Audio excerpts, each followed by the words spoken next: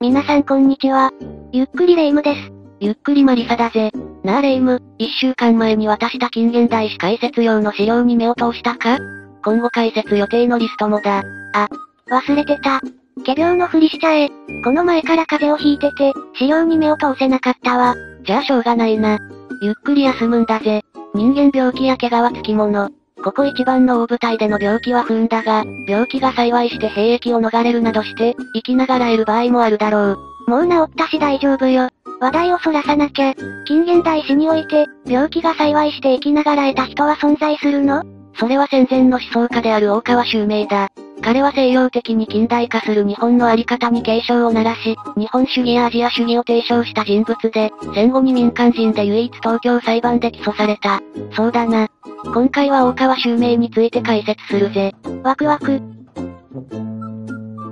大川襲名は大正から昭和中期に活動した思想家。彼は国学や儒学、キリスト教にインド哲学と古今東西の学問や宗教を研究し、この時代屈指の知識人だった。日露戦争を経て日本は列強の仲間入りを果たすが、当時はアジア一帯の国々が列強の植民地支配を受けていた時代。当時のインドはイギリスの植民地支配下にあり、大川はアジア主義の立場から、インドの独立運動に心血を注いだ。アジア主義は欧米列強の脅威に対抗し、アジア諸国との連帯を重視する思想。時代や思想で違いはあれど、日露戦争以降のアジア主義の主流は、東アジアにおける日本の優位を前提に、アジアの革命勢力を支援する思想らしいわね。マリサからもらった資料に書いてあるわ。そうだな。また大川は日本主義、つまり日本古来の伝統的な精神を重視する思想主義の立場から、西洋思想を踏襲した日本の近代化に警鐘を鳴らす。彼は数々の右翼団体の発足に関与し、革新派の陸軍軍人や右翼団体を支援してテロに関与するなど、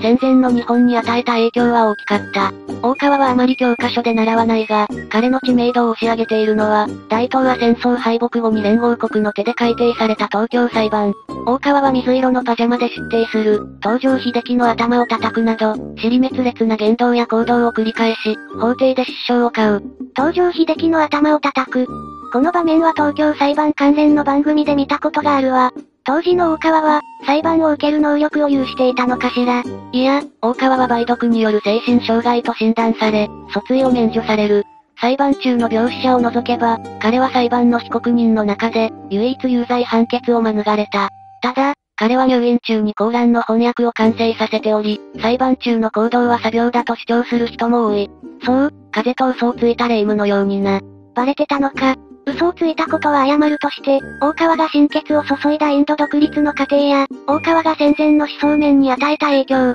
それに東京裁判での寄稿の数々。難しい内容が続きそうだけど、気になることばかりだわ。今回の内容は少々難しいかもしれないが、彼は戦前のアジア主義の思想を知る上で解説が不可欠な人物。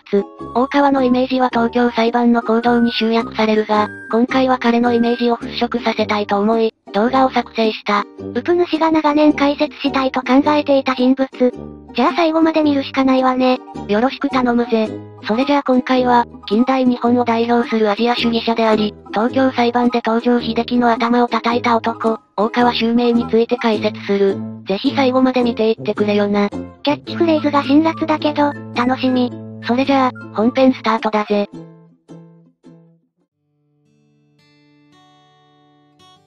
大川襲名は明治16年1886年12月6日に、山形県酒田市藤塚で大川襲剣の長男として誕生する。大川家は大川襲剣の名を襲名する石の家柄で、代々庄内藩に仕えた。庄内藩は戊辰戦争で旧幕府軍につき降伏するが、新政府軍の西郷隆盛の計らいで軽い処分で済み、没落を免れている。寛大な処置か。庄内藩出身者にとって西郷は命の恩人ね。ああ。庄内藩は明治23年1890年に、西郷の遺訓を南州大遺訓として編纂する。大川は庄内中学在学時に、庄内藩の儒学者角田利次宅に下宿し、儒学や漢学のほか、南州大井君から西郷の精神も学ぶぜ。さて成績優秀な大川は明治37年1904年、18歳の時に熊本の第五高等学校に進学する。当時の高等学校は他校へ転入禁止という規則があったが、明治39年1906年9月に、栗野翔太郎という生徒が5校から東京の1校へ編入する。これは外交官の立場にあった翔太郎の父新一郎が、移動に伴い息子を東京に連れて行くため、政府高官に圧力をかけ省令を改正させたことに起因した。新一郎の行動は教育機関の私物化だと思うけど、ああ。当時は今以上に学校の自治性が認められた時代。大川は転学反対派の急先鋒として一校の生徒と交流し、10月に全校生徒を集めて演説を行う。大川の行動は全国規模の学園紛争の先駆けとされ、明治40年1907年1月に五校の桜井夫先は、自治に反したことを理由に校長を辞任した。大川の活動的な生き様は、五校在学時から備わっていたのか。その通りだ。やがて大川は同年21歳で東京帝国大学に入学し、先見個性の教えをもとに、古今東西の宗教や哲学者の思想を学ぶ。正確な時期は不明も、大川は儒学、国学等の思想を融合させたキリスト教系の新興宗教団体、日本教会に加入した。日本教会は松村海石が1907年に創設した新興宗教で、1912年に同会と名を変える。大川が日本教会に感化されたのは事実だが、物の豊かさより愛や同情等の善悪の尺度で、自己正当化するキリスト教的な道徳に疑問を持つ。当時の日本は日露戦争に勝利し列強の一角にのし上がるが、貧富の差も拡大し、資本主義に伴う矛盾も表在化していた。愛や同情で物質的な豊かさは得られないからね。大川は社会矛盾を解決するため、何が必要と考えたの？大川は一つの思想や主義に固執せず、様々な宗教や哲学者の思想を学ぶ。大川は資本主義の矛盾や限界を国家の介入で解決するという、国家社会主義の考えに傾倒した。一方で古代ギリシャの哲学者プラトンが提唱した理想国家、つまり統治者、防衛者、生産者の各階級が秩序を持ち国家を形成する考えに共感を示す。さらにイスラム教の内面的、精神的、霊的な側面を重視するスーフィズムに関心を示し、1910年に日本教会の機関誌道に寄稿文を掲載。果てはウイ白樹、死を勉強、宇野円空など、後の仏教界の権威になる者たちと学友になり、仏教精神も学び直す。各地の哲学や宗教学の勉強に没頭する大川だが、彼が特に関心を寄せたのが、インド哲学だった。頭が混乱してるけど、一連の学びを吸収した大川が秀才であることはわかるわ。てかインド哲学はどんな学問なの？インド哲学にも様々な宗派があるが、多様な精神的修養を通じ、仏家、と輪廻から個人を解放することを目的としている点は共通する。ちなみにインド哲学の中で、世界的宗教として台頭したのが仏教だ。さて話を進めると、大川は明治44年1911年、25歳で東京帝国大学のインド哲学科を卒業。卒業後もインド哲学に没頭した大川は、僧侶になることを決意し浪人になるが、1913年大正2年7月に古書店で、とある英書と出会う。それがイギリスのサー・ヘンリー・コットンが執筆した新インドであり、大川は自ら翻訳を行うぜ。大川は英訳もできるのか。すごいわね。新インドにはどんなことが書かれていたの？新インドには、当時のインドの現状が鮮明に記されていた。インドは1858年からイギリスの植民地となり、英語の公用語化やインド人の出版言論が弾圧されるなど、大川の想像する理想郷とは程遠い状態にあった。この状況下、インドではラース・ビハーリー・ボースなどの武力革命を訴えた独立運動家が台頭し、大きなうねりが起こる。新インドが大川に与えた影響は大きく、彼はイギリスの植民政策打倒の思想を胸に抱き、インドの独立の実現に心血を注ぐぜ。日本が列強の仲間入りをする中、インドは混乱の渦中にあったのか。ただ日本は日露戦争に備えて、イギリスと日英同盟を締結していたはず。国内でインドの独立を叫ぶのは難しいのでは。鋭いな。当時の日本では、遠山光や犬飼剛などのアジア主義者がボースを支援しており、ボースは武器を求め大正4年1915年6月に日本に亡命する。だがボースが国内にいることを察知した日本政府は、11月28日にボースの国外退去命令を発令する。遠山や犬飼の働きかけで、ボースの退去命令は11月に撤回されるが、イギリスの追及は1918年まで続く。ボースは日本各地で逃亡生活を送るが、大川も一時的に彼を自宅にかくまった。大川たちは政府やイギリスに毅然とした態度を貫いたのか。ボースも嬉しかったでしょうに。違いないな。話を戻すと1914年から第一次世界大戦が勃発するが、この大戦は各国の経済力や技術、民間人も駆り出された国家総力戦だった。第二次大熊内閣は1915年1月に中華民国に21か条の要求を叩きつけるなど、さらなる領土の拡大を狙い、中国国内の反日感情は激化する。大戦の先行きが見えぬ中、大川は大正5年1916年11月に、インドにおける国民運動の現状及びその由来という論書を執筆。本書はインドの現状を初めて日本人に向けて発信したもので、日英同盟を重視しイギリス側に立つ日本の立場を批判した。大川はアジア主義の立場から、日本と中国、インドが連携を図り、欧米列強の脅威に対抗すべきと考えたんだな。大川の唱えるアジア主義は、日本の優位性を前提としたものではなく、アジア諸国が対等な立場であることを前提としていたのね。この頃は、だけどな。しかしこの論書はイギリスへの配慮や、国家批判を理由に発禁処分となり、大川はイギリスのブラックリストに載る。ただ大川は大正7年1918年5月、32歳の時に、満州開発を一手に担う南満州鉄道株式会社の満鉄東亜経済調査局に嘱託となり、東京支社に就職。これは初代満鉄総裁の後藤新平が、大川の論文を高く評価したためだ。さらに同年末に2歳下の芸者金子と出会い、大川は初めて女性と関係を持つ。二人の結婚は6年後と先であり、二人に子は授からなかったが、金子は破天荒な大川を生涯支えるぜ。イギリスや政府に目をつけられるのはあれだけど、割と順風満帆な人生ね。そうだな。話を進めると大川は、同月7月に起きた米騒動で民衆の底力に感嘆し、この頃から政治活動も本格化させた。10月に大川は思想家の三川亀太郎と、左派党派の思想家が一挙に集まる老総会を設立。ただ老総会は両翼の思想家が存在する右往の州のため、大川と三川は大正8年1919年8月8日に、右翼的な革新を目指す行動団体有存者も発足した。二人が将兵を望んだのが、国家社会主義による国家改造を唱えた、北一揆という思想家だった。北は政府の弾圧から逃れる目的で上海にいたが、大川と三川は密航を経て8月23日に北と面会し、彼に帰国を促した。安藤照蔵の動画で見たけど、北が1923年に開題した日本改造法案大綱は、昭和維新を掲げる青年将校たちの聖典になったはず。大川も北の思想に感銘を受けていたのか。ああ。北は12月31日に帰国し、有存者の中核的存在になるぜ。水面下で進む国家改造運動だが、大川は後藤の計らいで大正9年1920年4月に、拓殖大学教授に就任もしている。日本の表と裏を渡り歩く大川だが、彼は大正11年1922年7月、36歳の時に復興アジアの諸問題という書籍も執筆した。本書はイギリスとロシアによるアジアの植民地争奪戦の初相を分析したもので、取り上げられた地域はイラクやアフガニスタン、エジプトなど多岐にわたる。大川はイスラム教特有の、国籍や民族を超えて団結する姿勢に関心を寄せており、復興アジアの諸問題では、イスラム圏内の国々の分析が目立つ。大川のアジア主義は中国や満州の連携にとどまらず、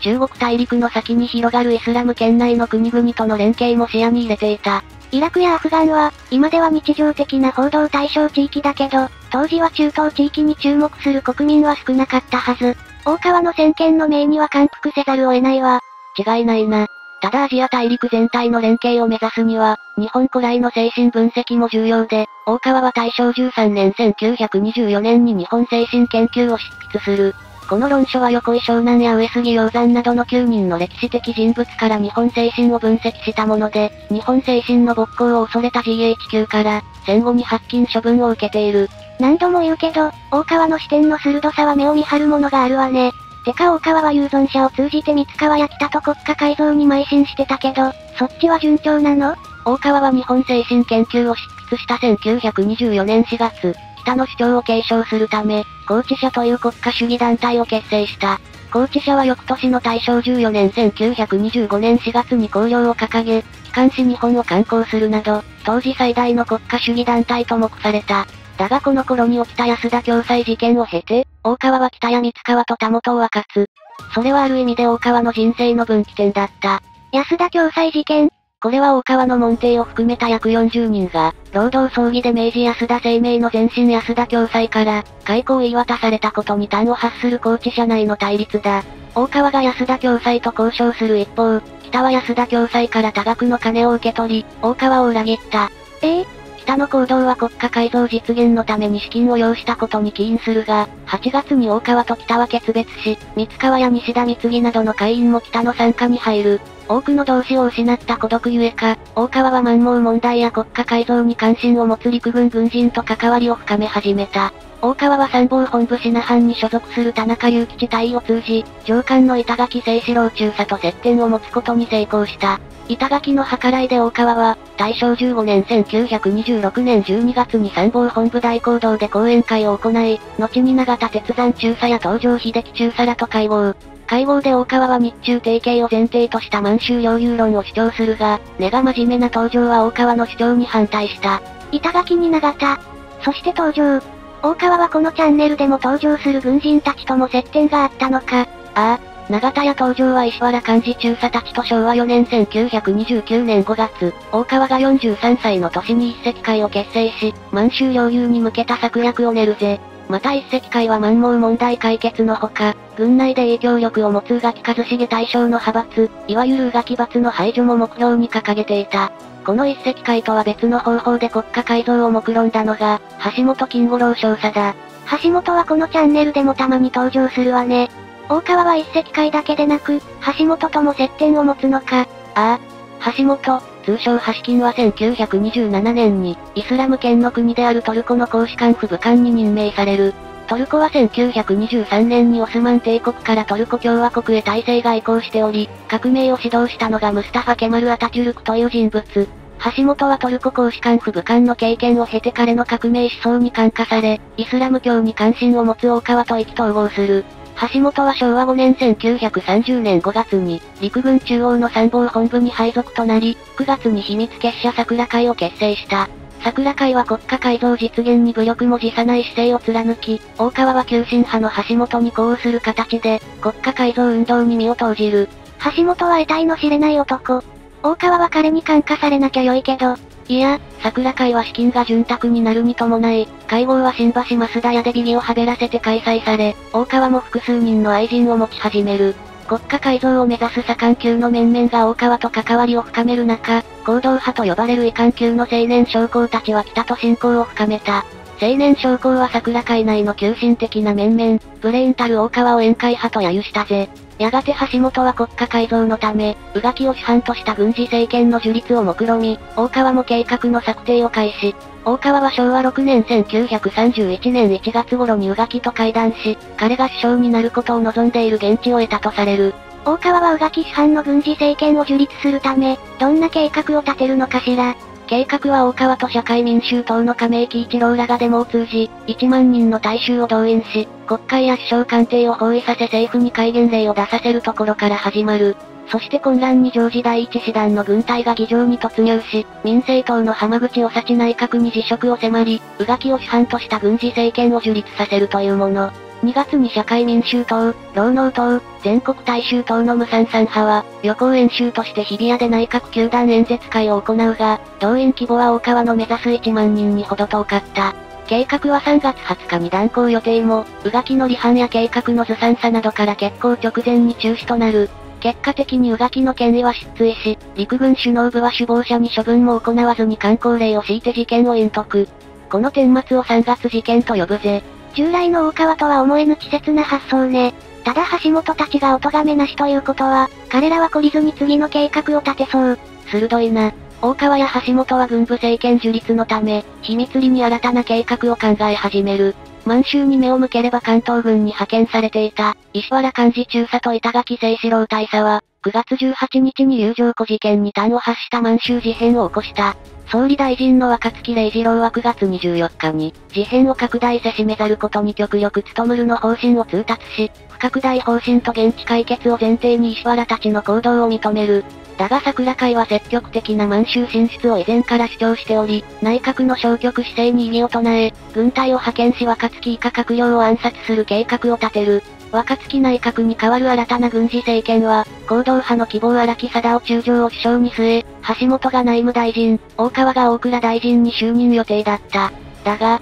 今回の計画も失敗に終わると、ああ、10月17日に情報は漏洩し、橋本たちは憲兵隊に捕獲される。一連の顛末を10月事件と呼ぶな。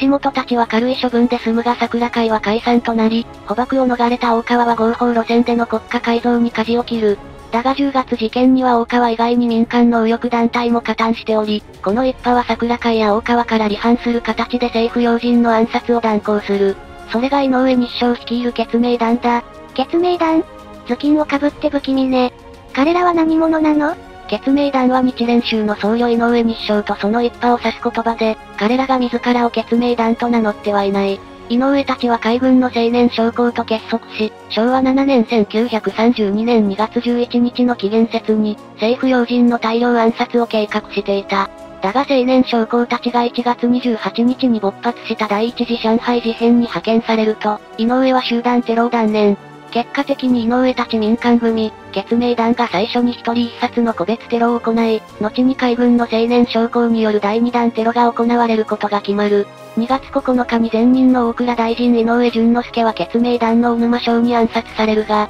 井上はすでに個別テロの限界を感じ、2月21日に海軍残留組の小垣義中尉を大川と接触させ、大川にテロへの参加を要請した。大川の判断は、大川は2月11日に合法的大衆運動による国家改造を目的とした人務会を結成していたため、テロの参加は断る。だが古賀からの、拳銃の斡旋の依頼には同意したぜ。3月5日に、決命団の菱沼五郎は三井財閥の東水団拓馬の暗殺に成功するが、同月に井上ら決命団の面々は芋づる式に逮捕された。ただ警察は決命団と、大川や海軍将校の関係性には気づかなかった。大川は今回も捕獲を免れるか。ん？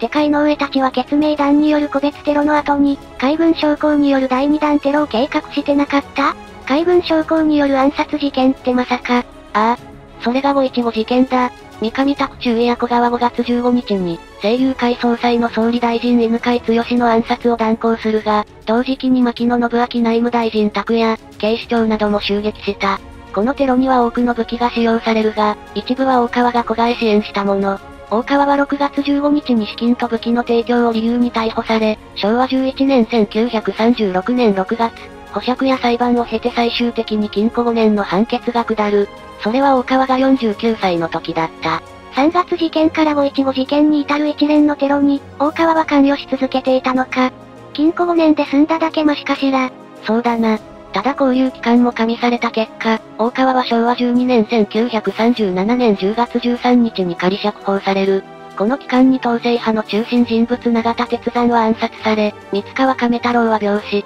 北一期も226事件に連座する形で軽視していた。国外に目を向ければ同年7月7日に、露光橋事件に端を発した日中戦争が勃発するなど、国内外の情勢は絶えず動いていた。橋本との交流で迷走した大川だが、交流中に自己を見つめ直したことで、彼は円熟したアジア主義者として蘇生する。アジアの連携推進と日中戦争解決のため、大川は出所後すぐに行動を開始した。アジア諸国が欧米列強に対抗するためには、日本は中国と戦争をしている場合ではないわね。大川はアジアの連携と日中戦争解決のため、何をするの？実は大川は1929年に東亜経済調査局を財団法人として独立させ、理事に就任していた。大川は昭和13年1938年5月、調査局に東南アジアやインド、イスラム圏を中心とした国々への派遣要員の育成を目的とした、付属研究所を設立する。研究所は大川塾と呼ばれ、満鉄や陸軍、外務省の援助もあり、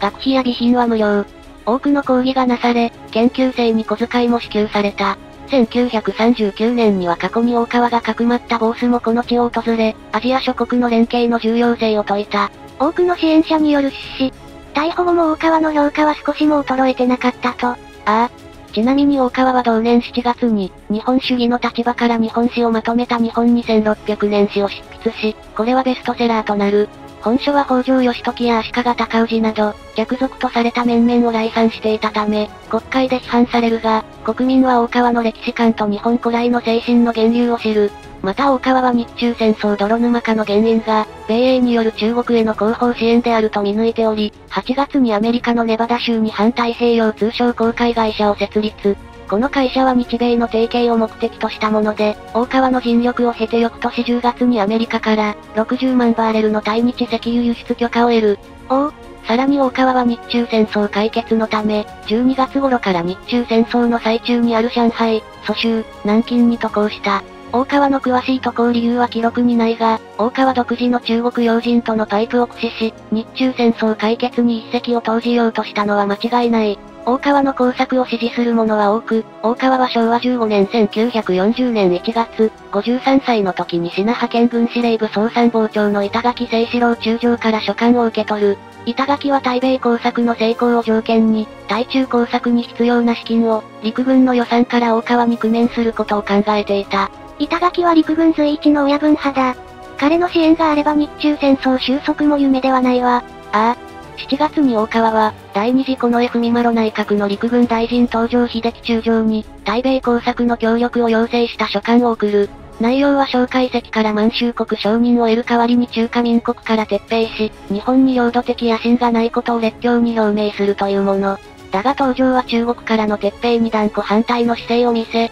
この案は失敗する。良い案だと思うけど、陸軍大臣たる登場に反対された以上、この案は無理ね。そうだな。その後も大川は昭和16年1941年2月に、反太平洋通商公開会社と米国メタルオア社との間で、タングステンという金属の売買契約を成功させるなど、アメリカとの友好関係の円滑化に努めた。だがその後も日米関係は悪化し、12月1日の午前会議で対米開戦は決定する。開戦に至る経緯として、日本政府が日独遺三国同盟や南部仏印進駐など、アメリカの地雷を踏み抜いたことも要因だが、アメリカも日本に石油輸出の禁止措置を取るなど、仮想敵国として追い詰めていた経緯があった。今回の戦争はある意味で仕組まれていたと。そう考える人もいるな。東条秀樹内閣は対米開戦の理由を自尊自衛とアジア解放とし、今回の戦争をシナ事変、いや日中戦争を含めて大東亜戦争と呼称する。大川は12月14日から25日に、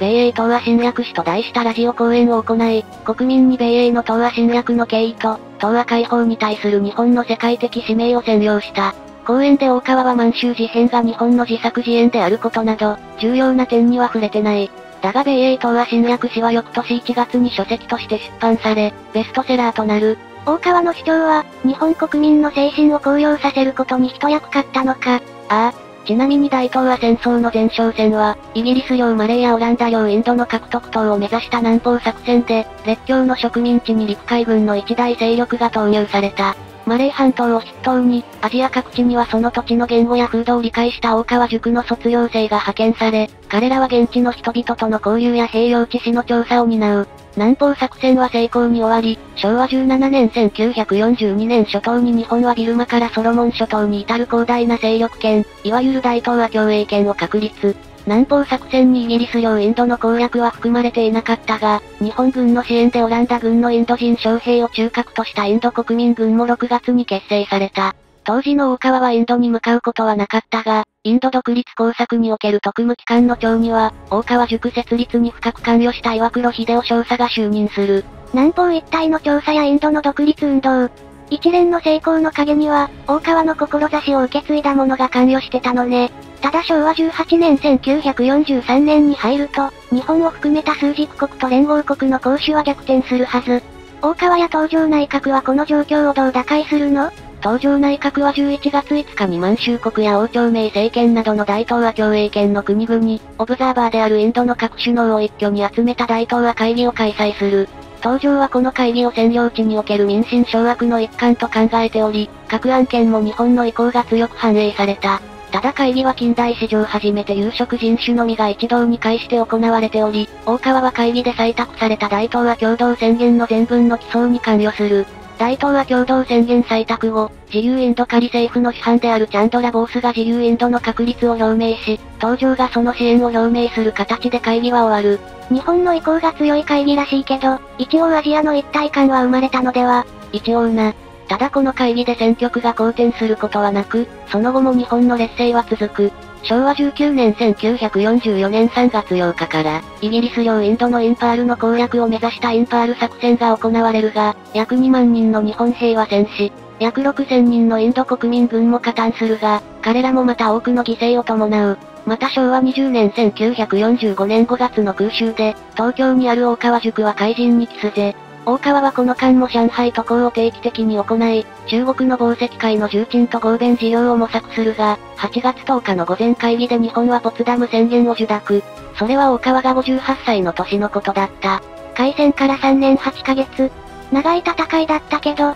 大東亜戦争は終わるのか。ただ敗戦を経て日本は、連合国軍最高司令官総司令部、GHQ の占領下に置かれるのよね。ああ、日本が降伏文書に調印するのは9月2日のこと。GHQ は9月9日以降、平和に対する罪、すなわち永久戦犯に定めた者たちを事後法で裁くため、次々と逮捕命令を下す。大川も12月2日に第3次戦犯指名者として逮捕され、最終的な逮捕者は100人を超えた。最終的に起訴者は28名に絞られ、大川は民間人として唯一の永久戦犯の被告人に選定された。民間人として唯一の逮捕者、それだけ戦前の大川の影響力は大きかったと。ああ。大川の基礎理由は、先導的な書物を出版し、公園で変革を訴え、超国家主義的右翼団体を結成したこと。陸軍が合法的独立国家の中国から満州を奪取できるように、満州事変の陰謀を巡らしたことなどが挙げられた。昭和21年1946年5月3日に、東京裁判第1回公判定が改定されるが、大川は水色のパジャマを着用し、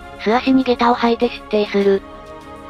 さらに大川はエンダーコメンジー、愛、愛シンク等の尻滅裂な言動を繰り返し、法廷内で失笑を買った。また宮廷中には前方に着座する東条秀樹の後頭部を、音がするほどの力で二度も叩く。一連の機構から連合国は大川を精神異常と判断し、大川は4月9日に裁判から除外されて米軍の361病院に入院となる。頭を叩かれても微笑する登場はすごいとして、なぜ大川は尻滅裂な言動や行動を繰り返したのかしら。主治医の内村雄氏は大川を、梅毒による精神障害と診断する。これは誤診や詐称ではなく、検察側の精神科医ダニエル S. ヤッペも、血液検査で梅毒の強陽性反応を確認した。大川がいつ梅毒に感染したのかは不明も、桜会と手を組宴会派と呼ばれた頃には複数の愛人がおり、そこから感染した可能性はある。一説では金子と初めて関係を持った際に、臨近による性感染症のような症状が出たが、それが実は梅毒だった可能性がある。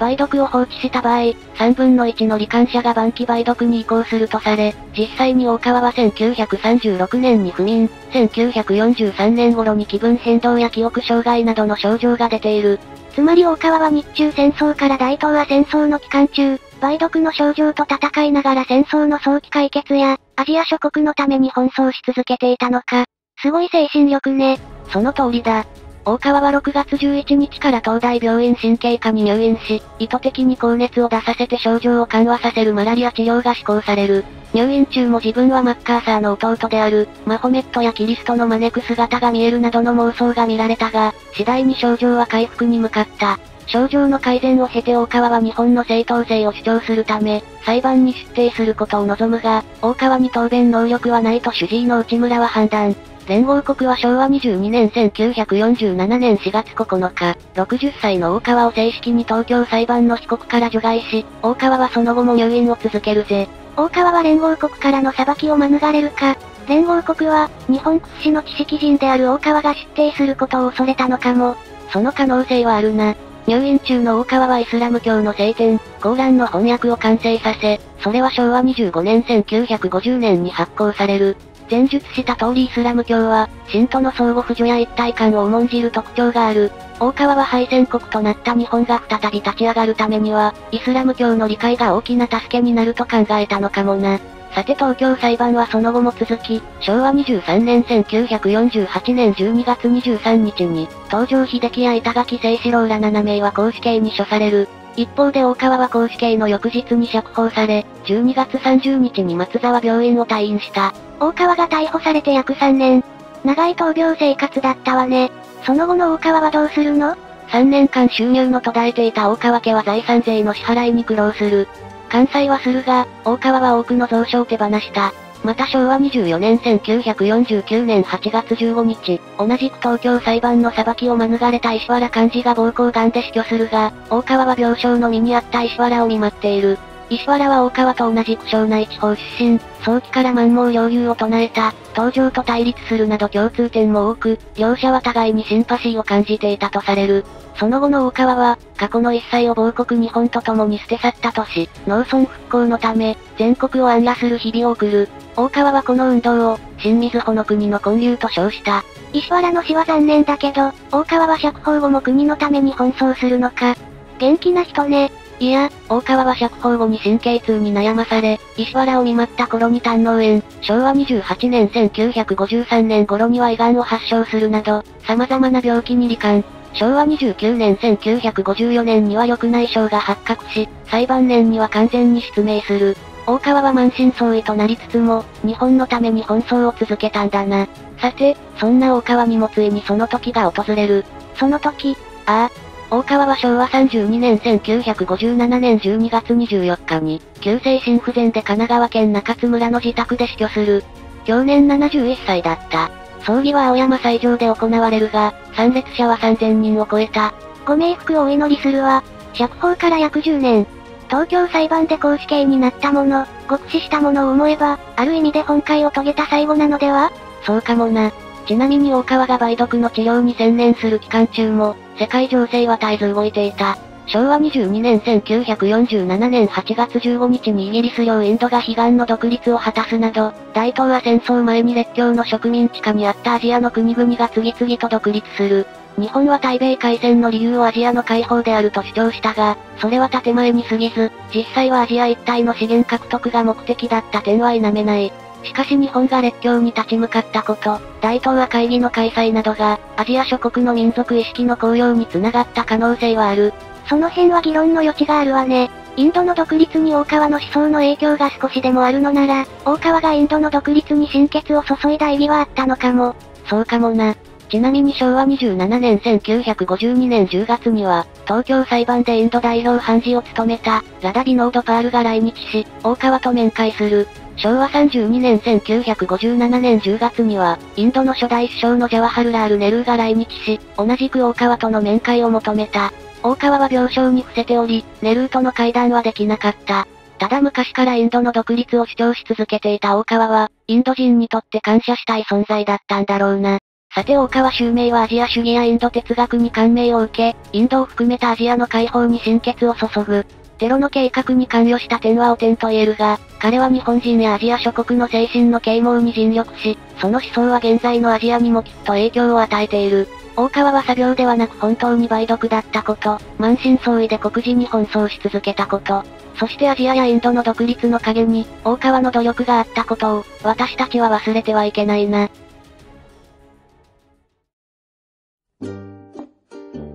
今回は大川襲名の生涯について解説したぜ。大川は国学にキリスト教、イスラム教にインド哲学と古今東西の学問や宗教を学び、インドの独立やイスラム圏も含めたアジアの連携に心血を注ぐ。彼の執筆した日本2600年史や、米英東亜侵略史はベストセラーを叩き出すなど、彼が戦前の思想面に与えた影響は大きい。民間人として唯一永久戦犯として起訴される。彼の戦前の足跡を見ればそれも納得ね。ただ、3月事件20月事件、決命弾事件2 5 1 5事件。彼はこの頃に勃発したテロやクーデターに関与したわけだし、彼の行動すべてを称賛はできないわ。その通りだな。特に犬飼剛は大川と同じくアジア主義者であり、ラース・ビハーリー・ボースの支援に心血を注いだ男。間接的だが犬飼の暗殺に関与した点は汚点と言わざるを得ない。ちなみに大隈重信の動画以降、犬飼が妙に登場するが、次の次くらいに犬飼剛にスポットの当たる動画も作成予定なので、楽しみに待つんだぜ。